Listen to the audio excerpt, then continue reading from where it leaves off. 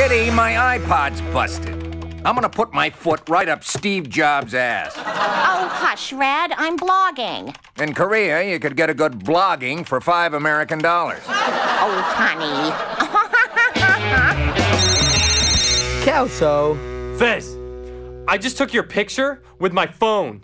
I just sent it to you. Ooh, what a sexy photo. It really captures my metrosexuality. Okay, who just text messaged me that I'm a douchebag? Hi, I'm TV's Topher Grace. As you've seen tonight, the precious trappings of our material obsessed existence become the sitcom fodder of the future. So, hey, please remember try not to be such a douchebag. Thanks for listening.